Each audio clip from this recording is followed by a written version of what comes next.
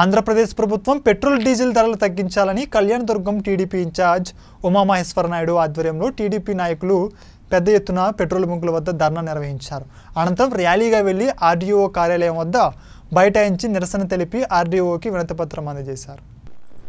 ఈ సందర్భంగా Kalyandurg TDP incharge Umamaheswara Naidu మీడియాతో మాట్లాడుతూ ముఖ్యమంత్రి వైఎస్ జగన్మోహన్ ఎన్నికల ముందు పాదయాత్రలో నేను ముఖ్యమంత్రి అయితే మీ ఆశల పల్లికలో ఉంటానని చెప్పి ప్రజలకు ముద్దులు పెడుతూ గెలిచిన తరువాత పిడిగుద్దులు గుద్దుకుంటూ వెళ్తున్నాడని ఎద్దేవా చేశారు. సంక్షేమ పథకాలు అరకొరగా ప్రజలకు అందిస్తూ అభివృద్ధిని గాలి కుదిలేశారని జగన్మోహన్ రెడ్డి ఒక తొగ్లక్ ముఖ్యమంత్రిగా నియంత పాలన కొనసాగిస్తున్నారని టీడీపీ ఇన్ఛార్జ్ ఉమా మహేశ్వర్ నాయుడు తీవ్ర స్థాయిలో ధ్వజమెత్తారు. పెట్రోల్ పై పదహారు రూపాయలు డీజిల్ పై పదిహేడు పై వాటు తగ్గించాలని డిమాండ్ చేశారు. జగన్మోహన్ రెడ్డి గారి ప్రభుత్వం వచ్చినప్పటి నుంచి మనం చూస్తూనే ఉన్నాం. నిత్యావసర వస్తువుల ధరల దగ్గర నుంచి పెట్రోల్ డీజిల్ దగ్గర వరకు ప్రజల్ని ఇబ్బంది పెట్టే కార్యక్రమమే జగన్మోహన్ రెడ్డి గారు ప్రభుత్వం చేస్తున్నారు. ఎటువంటి సందేహం లేదు.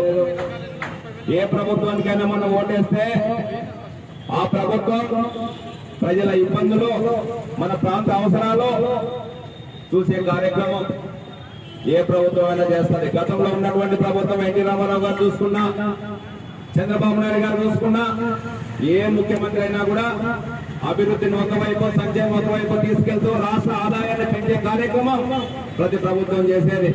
ఈ ముఖ్యమంత్రి జగన్మోహన్ రెడ్డి వచ్చినప్పటి నుంచి పాదయాత్రలో ఏం చెప్పాడు? నేను ముఖ్యమంత్రి అయితే ఖచ్చితంగా ప్రజల కష్టసుఖాలు చూస్తానని చెప్పి ముద్దులు పెట్టుకుని ముందు పాదయాత్రలో వెళ్ళాడు. అధికారంలోకి వస్తానే ఏం చేశాడు? గుద్దులు గుర్తుకుంటూ ముందు వెళ్తున్నాడు. ఏ ఒక్కరిని వదలం లేదు. ఈరోజు రాష్ట్ర తెలుగుదేశం పార్టీ చంద్రబాబు నాయుడు గారి ఆదేశం మేరకు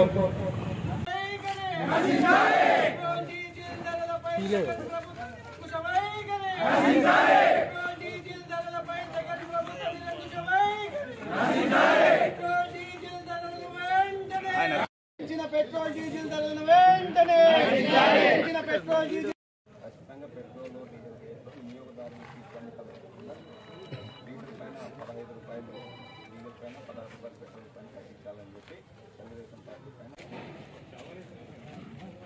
ప్రజల మీద కక్ష తీర్చుకునే కార్యక్రమం ప్రజల్ని ఇబ్బంది పెట్టే కార్యక్రమంలో ఏదైనా ప్రభుత్వం ఉందంటే అది ఆంధ్రప్రదేశ్ రాష్ట్రం జగన్మోహన్ రెడ్డి ప్రభుత్వం అని చెప్పి చెప్పక తప్పని పరిస్థితి వస్తూ ఉంది. ఎందుకంటే ఎలక్షన్ ప్రచారంలో కానీ పాదయాత్రలో కానీ నేను ముఖ్యమంత్రి అయితే మీ ఆశల పల్లకిలా ఉంటాను.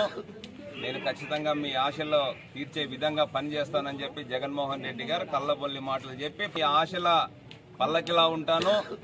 నేను ఖచ్చితంగా మీ ఆశలో తీర్చే విధంగా పనిచేస్తానని చెప్పి జగన్మోహన్ రెడ్డి గారు కళ్ళబొల్లి మాటలు చెప్పి ప్రజలకు ముద్దులు పెట్టుకుంటూ అధికారం లేకొచ్చిన తర్వాత గుద్దులు గుద్దుకుంటూ వెళ్తున్నాడు.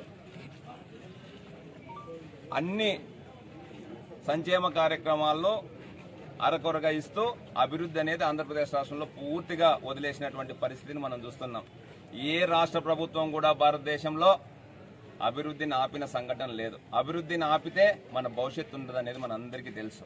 కానీ జగన్మోహన్ రెడ్డి గారు పిచ్చి పిచ్చి ఆలోచనలతో తుగ్లక్ ముఖ్యమంత్రిగా నియంతగా అంబేద్కర్ రాజ్యాంగంతో అధికారంలోకి వచ్చినటువంటి ముఖ్యమంత్రి అంబేద్కర్ రాజ్యాంగాన్ని తుంగలో తొక్కి నియంతలా ప్రవర్తిస్తూ ప్రజల ఆలోచనలకు విరుద్ధంగా ప్రవర్తించే కార్యక్రమం మొదటి రోజు నుంచే చేస్తూ వస్తున్నాడు.